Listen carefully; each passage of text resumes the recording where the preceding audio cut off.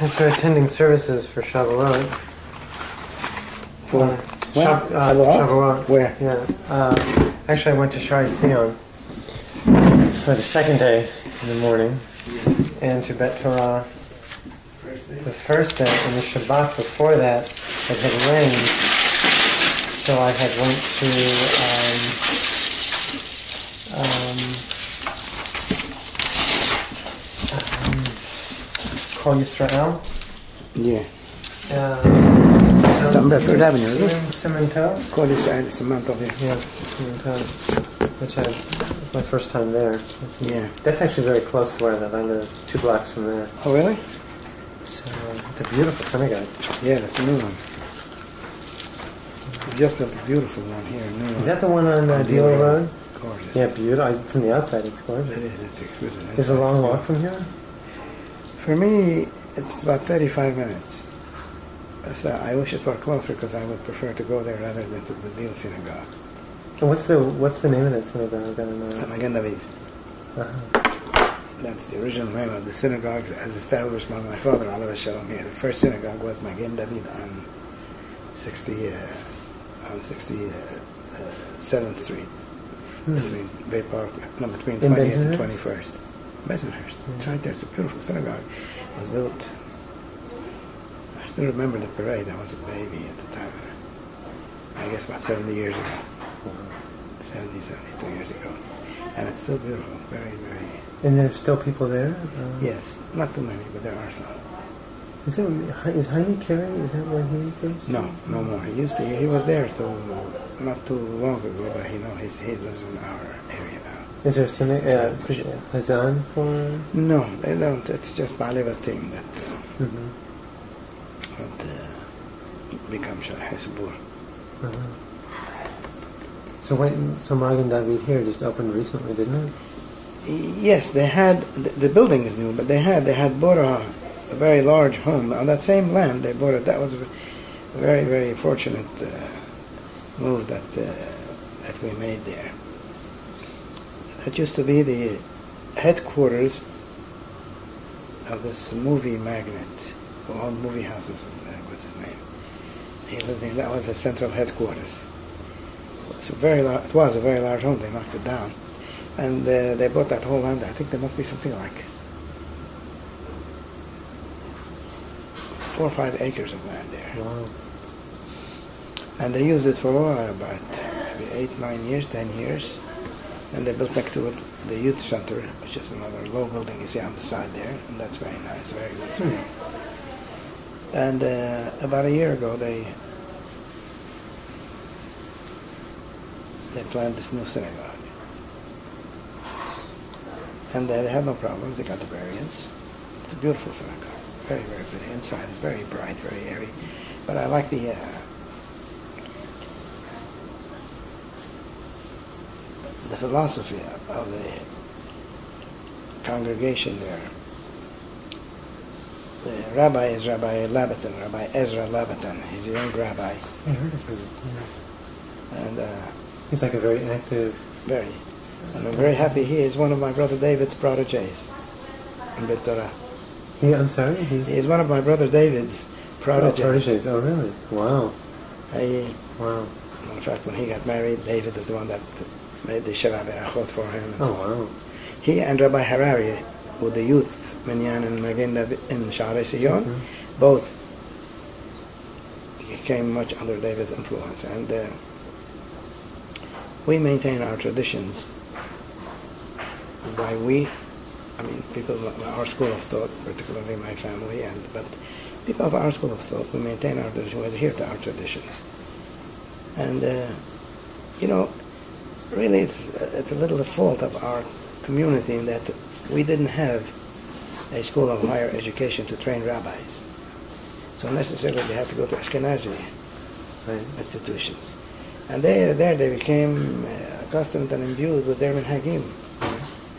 And right now we resent it very much. But that's the way it is. Now, Rabbi Labaton went to Yeshiva University, as my brother David did. But uh, they, they, uh, they adhere to our minhagim, uh, and uh, there's a big conflict in the community now. In terms There's big friction, rather, I should say, in terms of these uh, other rabbis who are trained uh, in, uh, say, Baltimore or uh, right. Near Israel. uh, in Players and places like that. There, there- there's, there's a direct conflict. Um, Some of our manhagim and our philosophy, and we find some of them now with the siyot dangling outside or along the peot, and uh, wearing black hats as if that's part of a uniform, and we resent it. We don't mind it. I mean, in Florida, I have a beautiful minyan where we pray in Olympus. We have a very, very active minyan, Baruch Hashem. We have services in the morning, in the afternoon. We have a class every morning after Tefillah. We have classes on Shabbat for men, for women. Uh, very active. And we have a Lu- Lubavitcher, which is maybe half a mile away from us or so. We support them. Mhm. I, I allow them to come. They speak in our synagogue, the rabbi. We support them financially. Mhm. They're building quite a nice complex where they are. We dedicated uh, some uh, mitzvot there in the name of our uh, minyan. I mean, last year they had a, a banquet. I'm not sure that we took two tables for our Sephardic, we call it the Sephardic, uh, Olympic Sephardic minyan. We support them, but does not necessarily mean that we don't have to, you know, adhere to their minhagim. Like you take Rabbi Hecht, who's a Lubavitcher. Right. Also, he says, my Rebbe, Rabbi Schneerson, do not let one of them in Hagim go by the wayside. It's, every one of them is precious. They're in Hagim, you must adhere. That's the congregation. And he does, he adheres to our in Hagim. Mhm. So, uh, I, get, I, I, I sort of sense that for myself that the younger generation or the younger rabbis uh, they're all, they're, have that they're all educated by the. Ashkenazim. Right. There's many, many things, some of them minor, others, but, but the problem is that they do create a divisive atmosphere. Uh, Removing, from removing shoes for the Berchat Kohanim, you know, what you, what you call ducha. ducha. Right, different. We make uh, Berchat Kohanim every day, Right, the year. right, And uh, on- Yom Ta'anit we make twice a day, right. and uh, so on. And uh, we don't remove our shoes, nor do we wash our hands.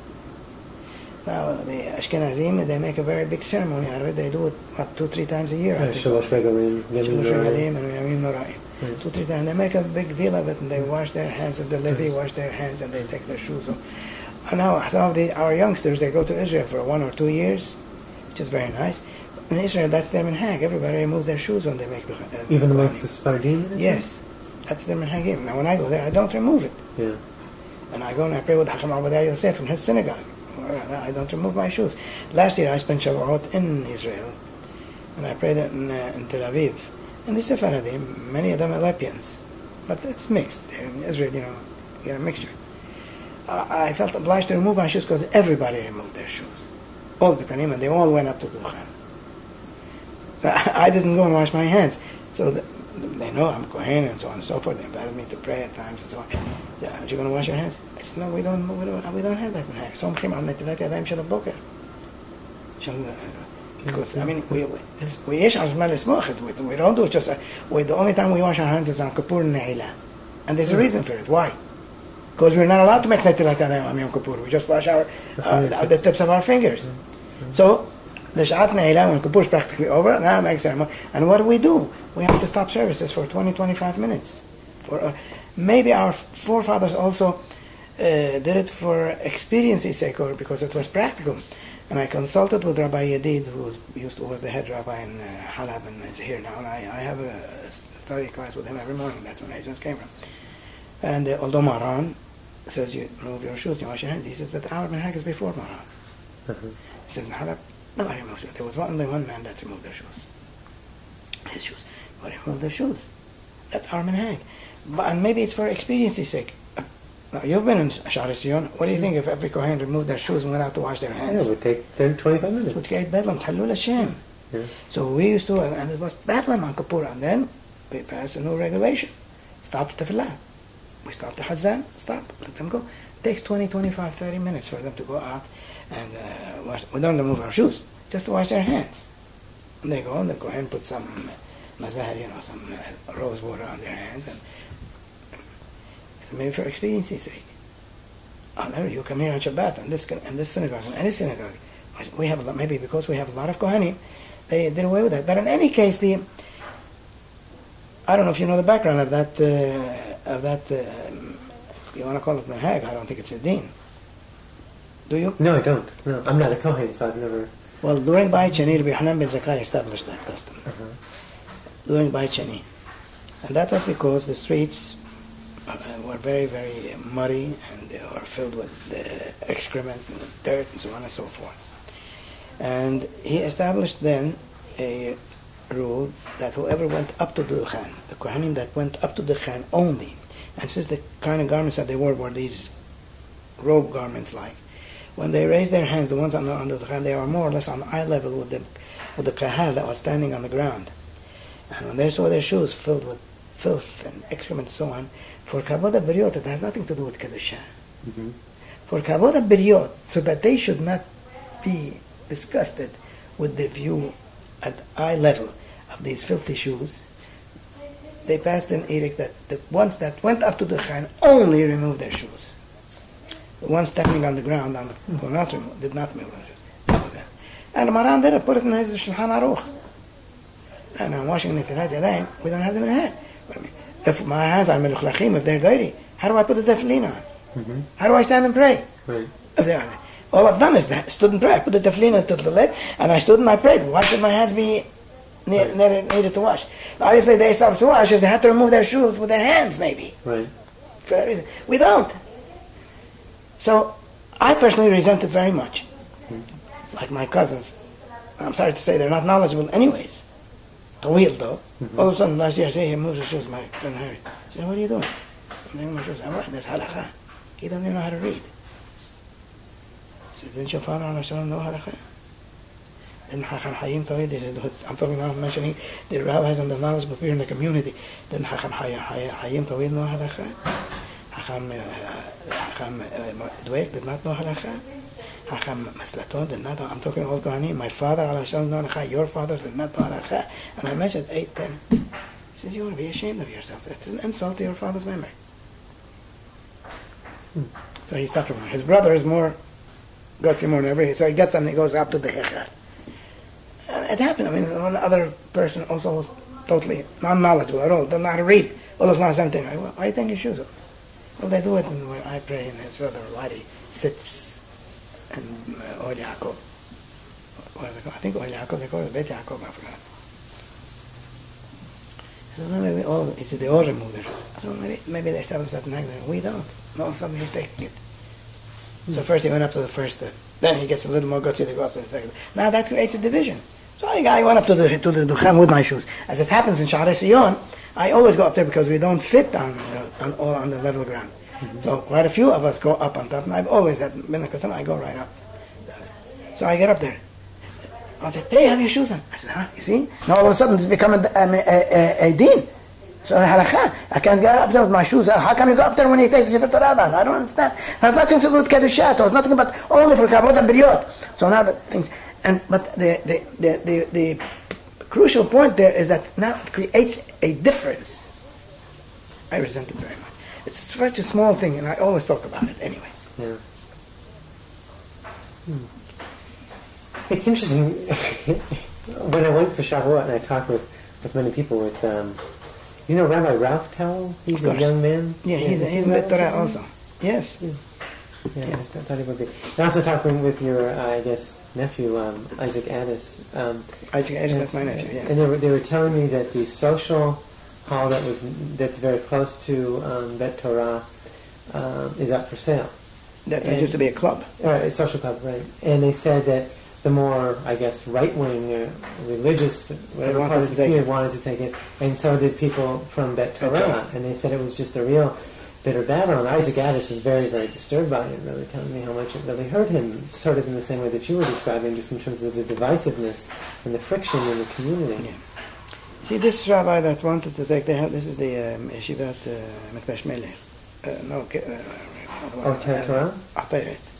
Ateret. It's Ateret Torah. Rabbi um, Rabbi Rafua? Raful. Rabbi, Rabbi Yosef Raful. And see, but when he established his yeshiva and congregation. See, I, uh, matter of fact, maybe 20 years ago, I had him in my house, and were inviting him to become the principal. He used to teach in the Flatbush Yeshiva in the high school. He and his brother Abraham Rafur, who's in that other synagogue. Yeah, He just Kleisville. went- What is right.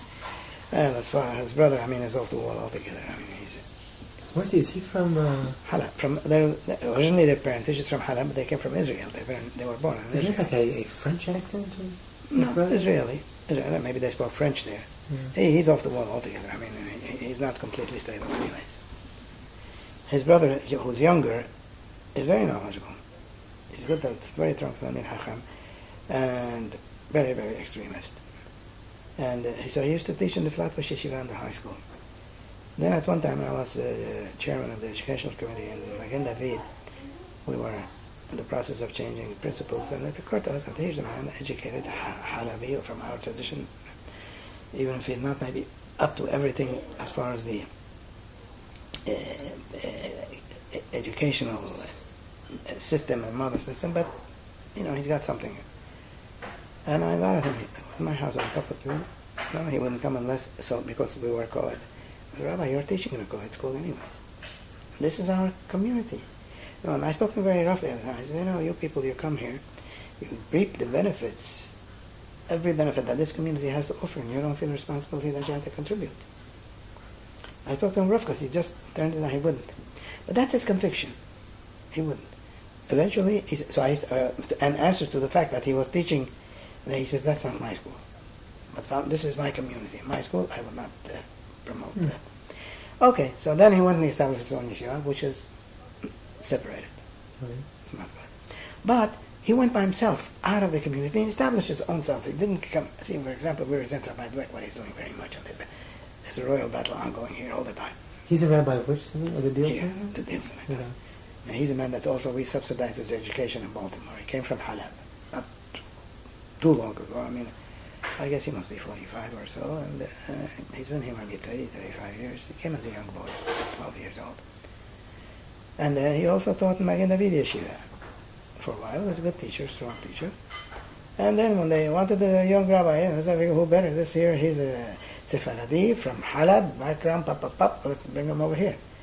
Little did we know that he was totally imbued with the Ashkenazic uh, philosophy, and he's married to Ashkenazim, a very religious family, observant family, obviously, and that creates a tremendous influence over him. And uh, I mean, for example, he has got a, a son, uh, uh, uh, Solomon Shlomo, Shlomo, he calls him. Uh, Now that's not us. Yeah. And uh, a couple of times we were marked. He, he left a little seat dangle. Rabbi, your showing you. So I thought, now lately he started putting on a black hat, and it's created such a commotion in our synagogue, such a commotion in the whole community. Well, why? And I thought, why? Well, also, why, are you wearing a black hat? He and his sons, now he's got two sons, Bar Mitzvah, that wear black hats, and they said no, and that's rubbing everybody the wrong way, and it- encourages, and he's setting up kollel. Another kollel, notwithstanding we have a very nice kollel here, which where And he's establishing another kollel? he, he established it, Who's the who's organizing the first? Who has the first kollel? Rabbi Diamond. Diamond. he is Ashkenazi, but his uh, mother is Sephardi, one of that, and he adheres to Armin Hakim, very, very nice young rabbi. And uh, it's a very uh, nice and successful kollel. That's a a sudden- here in Deal. Yeah. Yeah. Okay. All of a sudden, this man was and he built a building next to the synagogue. He first he bought the land. We didn't want to buy it against the against the consensus of the committee of the committee. He got other private people. Now, he does very th- many things unilaterally. We got, uh, and that's nice. And there were no students, so he brought uh, 12, 14 students from Lakewood. So there's three, maybe I think three. Are there? Maybe there's three Sephardim, and all the others he brought these Ashkenazim from Lakewood and put them the kollel. Can you imagine how they, what, they were- what kind of uh, antagonism that creates? Not because they're Ashkenazim. Why are you opening another kollel in competition with the other man? Wait, the new kollel has the boys from Lakewood? Oh, the new one. Okay, not the one from Rabbi Diamond. No. Okay. Okay. My diamond, I think they're all They're all. Sephardim. Uh-huh. Wow. So this and now you stop to think, what motivates a man like that to do this? Right. Do you find that the younger generation is in more of support of the more religious than the older generation? It depends. You see, now the problem is that the ones that you see that support more, they're the ones that are more, more vocal, and they're the ones that you see. Right. because obviously you go to synagogue, they are there. Right. Some of the others, maybe they're not there. Right. But the majority is not that way. Right. We are more religiously inclined, I think this is generally in the United States because of yeshivot. Right. I mean, this is very, that's a very simple thing to understand. I mean, you take when my son, I go, I've told you the sequence of events that happened, how my son was the first born in the Sephardic community that went to yeshiva. And he went to Flatbush Yeshiva. No, you didn't tell me that. Well, I was always c- concerned. You see, our home has always been an observant home, religious home. My father, Hashem, was a businessman all the time, but he, he had a library which was mind-boggling. And, uh, I mean, he passed away, I was 17 years old, so I was very conscious of his mode of life. Were you the oldest? No, I'm next to the youngest. Oh, It's David? David is the youngest. The youngest. Harry is older than I am, and the others have gone on, have passed away. I'm next to the youngest, and uh, he learned Torah on the average probably during the course of a 24-hour day.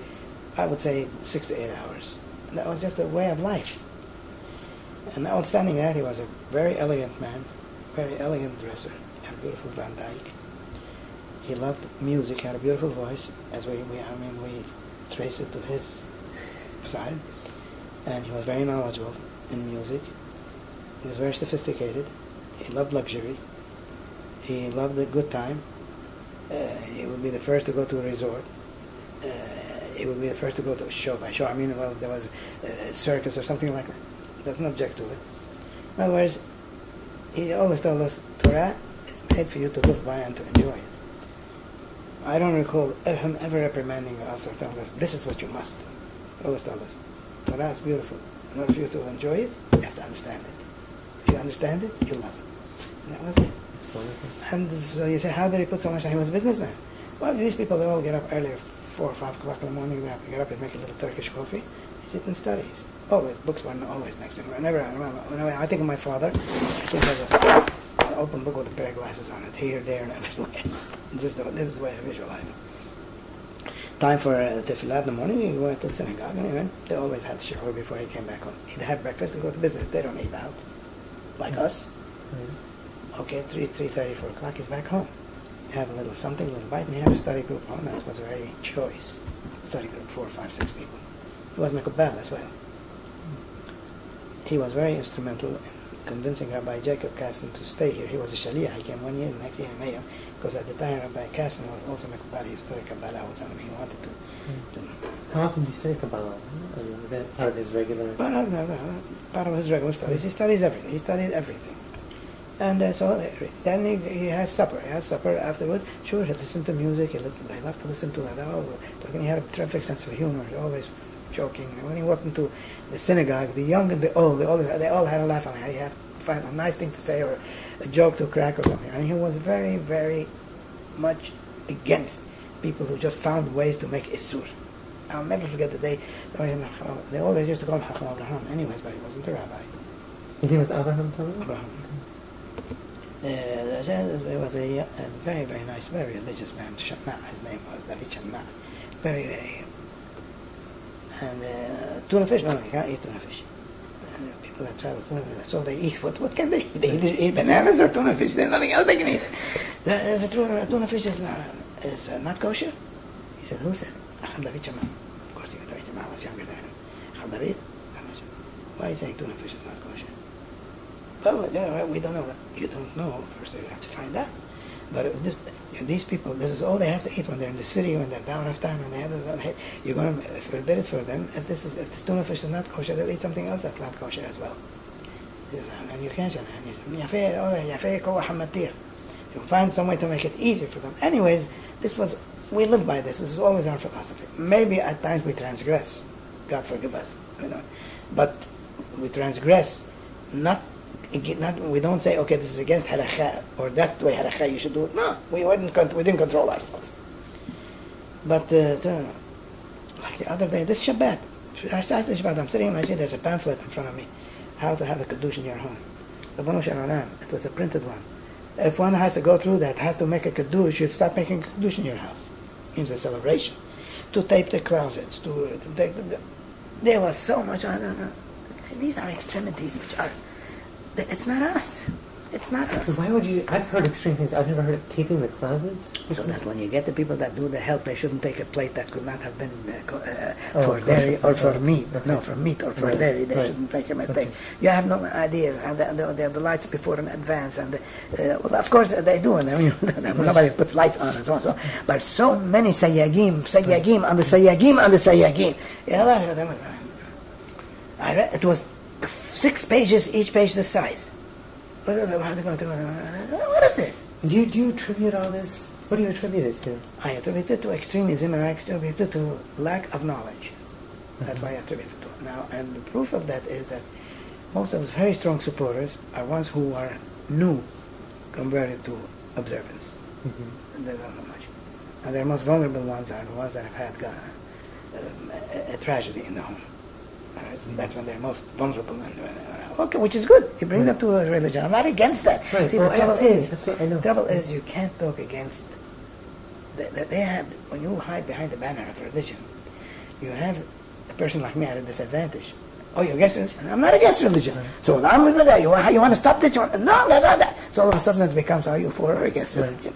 Observance or, or, not, or not observance. So you can't like, just we were thinking of having a general meeting this Shabbat for a lot of things happened wrong here in the last few months. And some of my uh, colleagues and friends, and he says, you know, we're at a disadvantage. And they're like, ah, you're against studying of Torah? Because we, are, we resent very much the fact that this kollel is open next to the synagogue. First of all, it's created on a mosque among the goyim here. They came and they threw bricks at the windows, and they threw them adults, you know, adults, men. And it creates much ill feeling towards us. And it's not needed. Mm-hmm. Not only it's not needed, he hurt Rabbi Diamond's feelings very much. Who was supposed to be his buddy buddy. Rabbi, when he goes away, this rabbi doesn't allow anybody else to only Rabbi Diamond because he knows he can't usurp any of his. He's busy. Let's go there. We have Rabbi Nahum, probably more knowledgeable than both of them. Rabbi Diamond as well as Rabbi. I mean, this literally. I mean, I'm not just exaggerating. He's a man that studies Torah ten hours a day. Very knowledgeable. He's a Hazan. But he's very, very tremendous Talmid Hacham. More, his value to us is more as a Talmid Hacham than as a Hazan, anyways. Wouldn't allow him to speak. Afraid that he should. And Rabbi Nahum is a Halabi and he's of our liberal leanings and inclinations. He doesn't want anybody to undercut No, this. no. How do you spell his name? Nahum. Edmond Nahum. But, I don't know, this covers a lot but uh, You know, it's so interesting because many, of course, as you know, many of the same issues in the Ashkenazi community. Well, and, well, this is what we were trying. Anyway, this is what we have always been very fortunate. I'm not, I'm not going to say proud, but we've been fortunate that we have not, have not been tainted with that Yeah. until uh, then. You know, you know my brother Isaac. Yeah. He in his last years he lived here all year round for maybe five six years, and he was all my brothers were always my. He was president of Shari Sion at one time. He came every time he wanted to make a president he wouldn't take it. Wouldn't accept it. 12, 12 years. He says, well, you watch what's going to be in this community 10, 12 years down the road with this rabbi. Sure enough, that's what's happening. Hmm. And uh, we were never that. Our community was always just one unit. And uh, now there's so much division between children and parents, between uh, cousins, between friends, between brothers. One is this way, the other is not. We never had that. We never had that. It is in the Ashkenazi, unfortunately. It exists in the Ashkenazi, but we never had it. Do you think it's partly due to Ashkenazi influence in terms of Yeah. people going to Yes. schools? Who's up here?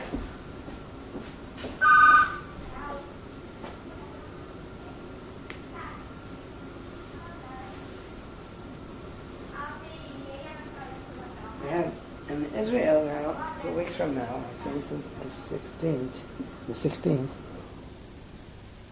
the 17th, there's a concert of Hazanim from all over the world. Hmm.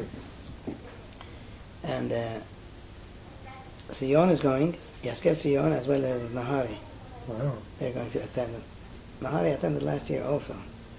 And just yesterday they called me, They called me to go to represent the community and to give them a resume of the background of our but I just put in a call, he's not in, I can't go. Hmm.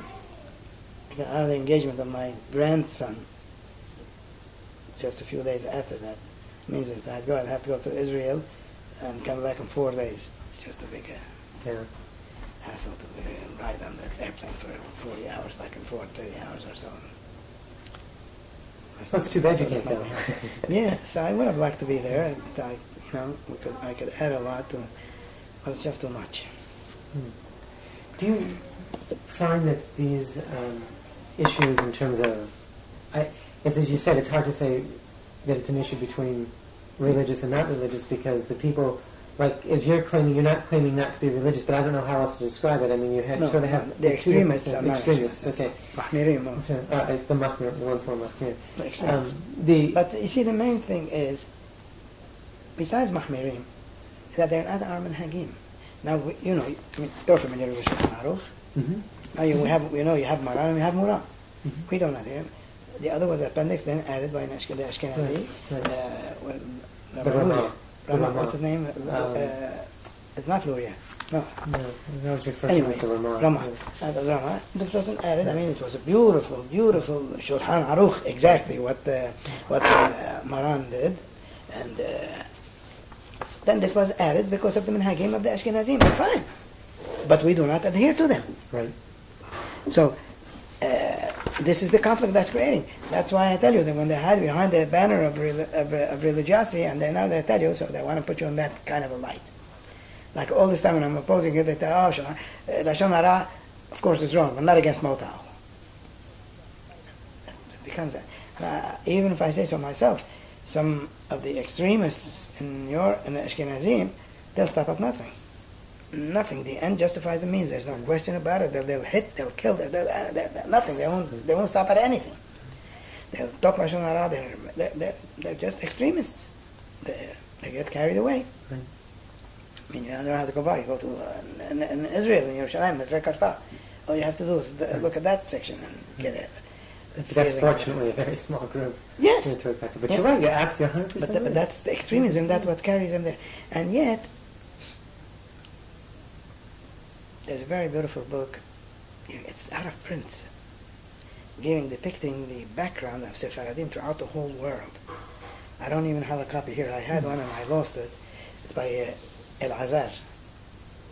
As a matter of fact, uh, I, I- I gave a discourse on it and it referred to some of the passages in that book.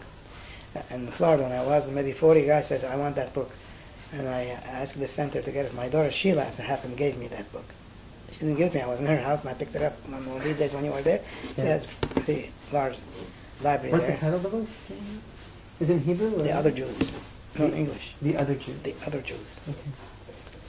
and uh, it's, it's, it's, it's the, the, the, the research behind it is terrific because he, he gives you the background of practically every Sephardi congregation in the United States. Hmm. And he's accurate because when I read ours, to the T, like that.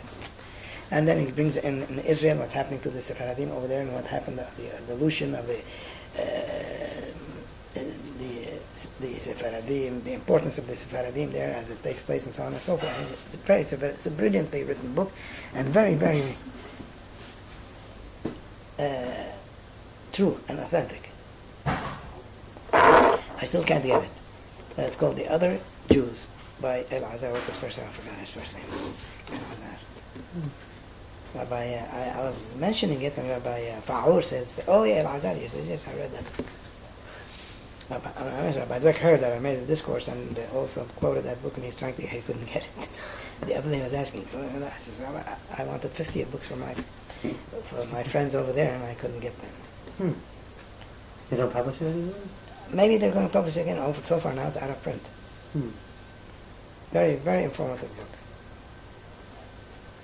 If you, I, I've just been involved with getting books that are out of print. There are places that, that will search for books See if you could find print. that. Okay, I, I do, I'll could, let you I, could. I could use 50 of them. Okay. Okay. I'll let you know. And it'll go through the center. The center one, that's, they're trying very hard. Yeah, I'll, let you know what I come up with. I mean, all right, so the ones who are more extreme, do you find, are they still adhering to, you know, in terms of the, in, in tefillah, are they still adhering to the maqamat and still Yes. adhering to all Yes, yes, that's, that, that's established. That's, as far as the uh, m- the whole mode of the tefillah is the same. It does not There's no change. There's, they haven't made any changes to tefillah or No, anything like no. that. No, not at all. Hmm. And uh, really, I appreciate what Sam Catton and his friends, uh, the last book also, David was involved, the New that one. Uh, yeah. You found in the introduction there. Uh, it's it's to be uh, really appreciated that they're taking it because it takes a lot of time and effort to do these Mhm. and because it's, it's, it makes it easier for the less knowledgeable individuals to follow the, the filah when it's being said, led by Sh- or at home when they're, when they're praying. I mean, like you take this, this book that you just, this is fabulous. Yeah, it's This is a beautiful. book. It's fabulous. I mean, it's so simple. You don't, you know, for the not knowledgeable individuals, it makes it so, so simple. You just open it, that's all. One, two, three, go, and one after one. And even for the ones that are knowledgeable, it makes it much easier, much simpler. You don't have to depend on your memory. And was it there? Yeah, oh yeah, yeah, it's there. Right. Very, it's very, very informative. Very good. Very well done. One thing that I liked about it is that the different parts of the service that are sung, like during Shacharit, um, are all like separated out. Like for example, um, I mean, there's always just learning things. For example, when Shavat Aniyim Yes. is said, I mean, it's already separated out. You know, it's going to happen. Yes. Also, Kel HaHadaot, You know, and, yes. and, and Yimitzram Gel I mean, all, all throughout it was, it's really Yes. kind of, yeah, and Smechem B'Tzetam, I mean, they have Yeah. little dots, so you know that that's So you know that that's a little separated from I mean, that was really, that helped me in sort of learning, uh, what Yes. was going on. So, well, it's, it's really, it's great. In some ways, this is easier to follow than the Siddur. Of course, because it's so orderly Yeah. that uh, you don't have to turn from one you to the thinking of, of making You just go in order. Well, this Siddur was just done, and I, I criticized it some, and that uh, there are some things that were left out.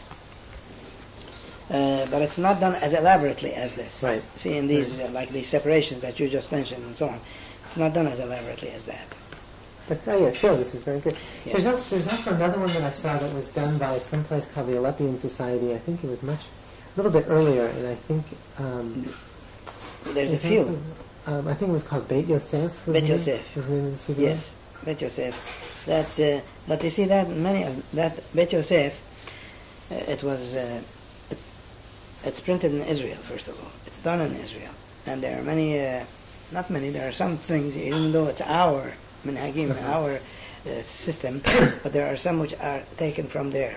For example, in the um, on Yom Shani and Hamishi on weekdays. I'm talking. Mhm. Uh, Vayabor, we say Vayabor four times. This is after So the this is tefillah. something I'm not familiar with.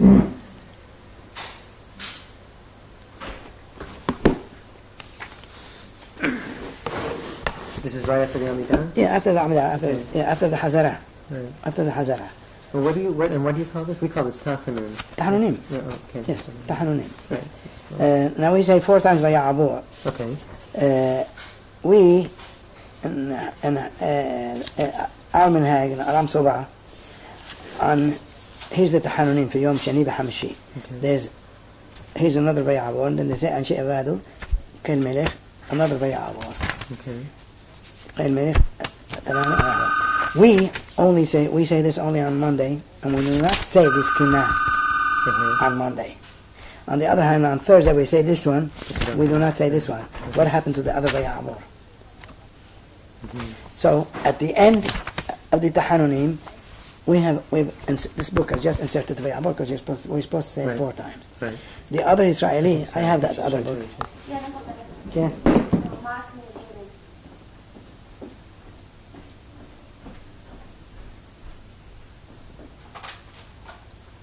Hello. Hello. Yes. Yes. Sir. Yeah. I'm, re- I'm really very interested. Thank you. sir. Georgie? Georgie?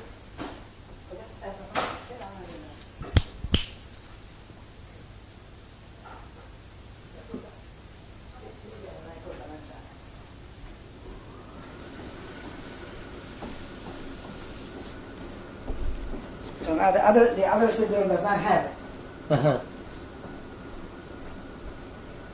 Does not have the four statements of the Vayavor? Does not have it there because it's not needed because they say the two pieces of the Haronim, Uh-huh. portions of the Haronim, they say them both. Even this.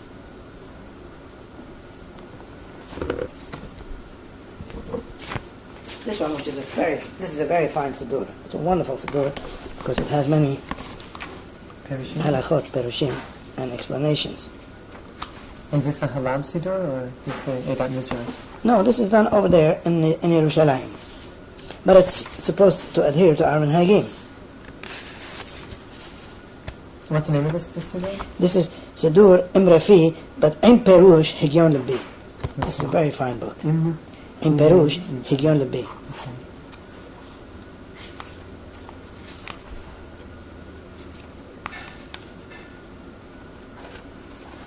See, again, they don't have a Yabur here. Mm-hmm. But that's because their minhag is to say both of the portions on every day, on, on both on Monday and and Thursday, whereas we don't. Right. So the Halab custom is not to say it. Not to say the two parts, the, the two two par- parts, the two parts. but we do say Yabor at the end here before we say the Kaddish. So this is this is just Edat Mizrah. Um, Yes. Nusach? yes, that Okay. Okay. Yes, except that uh, they have a minhag over there that they say them both. We maybe for Torah Sabur we don't say. I mean, maybe originally it was established that you don't say both kinot, both uh, of these the Hanunim, Pash of the Hanunim, bec- because of just uh, Torah Sabur. So it shouldn't take that long. The prayer shouldn't take that long. That's the only explanation I can find for it. So they say we'll say this one on Monday, this one we'll say on Thursday. But the Vayabor you cannot skip. You need to Right. say four times Vayabor. Any other differences between that Siddur and? Uh, Uh, and which on this one? Yeah. No, there are. There are some. Uh, well, the, the, some of the corrections that I want to make are for the benefit of Hazanim that not, not knowledgeable. For example, I want them to insert. Uh, uh, you see, there are many. Uh, let's say when they come to the parashiyot uh, for the weekdays, or parashiyot for a particular special reading, be it one of the Arba Samot or Tisha B'Av. They say they they have the uh, the parasha. They don't tell you where it's from. Now, somebody that doesn't know, how is he going to find it? Or how are you going to remember? I mean, in order for me to remember parashat of, uh, of uh, let's say, uh, B'Av, where is it? What parasha is it in? yeah, I don't know. It's very simple to just put uh, Va'ethanan. Put in parashat Va'ethanan. Not only that, I, mean, I also maintain that you should put also the Sefer. Devarim Va'ethanan. Here you have to go and fish and find out where is this part. Where is it? Ki Tolid Banim. You know, the parashat of the other, Ki Tolid Banim. Where are you going to find it? So these are some of the corrections. Uh, on Purim, if Purim is on, on Mosai Shabbat, how are you supposed to go about it? What do you do? Do you make, do you make the Havdalah before you say the, before you read the Megillah? Or don't you? Good question. I And think you say after. after. But you do make uh, Birchat Me'orei Ha'esh. And the reason should be very simple for anybody to figure out. You need lights. You're going to read the Megillah, you're going to read that. So you make on Mosai Shabbat, you make Birchat Me'orei Ha'esh, you light all the lights that you want. Now you can light lights and finish, all right? You know, Ha'esh, and then they have the lights made afterwards. Right. afterwards. And uh, this, I just remember, so they have to, uh, in Florida, so the next day, no, they do that. I said, this is where they, called New York, and they had to, how, and then, so I said, how did you, how did you figure it? What I seem to remember, and then besides, it's logical. So I say these things, don't leave them for guesswork. Or don't leave any open questions. Put this information. There is, we have, I have a custom in my house, we read a portions of Zohar on Friday night during the Kiddush and on Saturday before the Kiddush. Zohar, I don't know if you people have that. On Friday night, we have the Chorti, Shabbat, the Kiddush, Yitzhak, Batam, Amaketi, Beberech, Lim, Ton, Shir, Tibanam, Shesh, Lim, Telekatu, and so on and so forth. Zohar, they didn't have it in the first edition of this, first editions. And I said, why don't you put this? He said, I don't say it. I said, well, we say it. We say. Maybe in your family say it. Should have it. This is on Friday night and Saturday morning. Yeah, so they put Friday night, they didn't put Saturday morning. I said, and we went to Shabbat Tavis, Ketib, Astanak, Allah, night. They, I said, well, you're saving one half a page. Then they, they're doing it, you know, to save so many pages to make the. Yep! Who? Okay.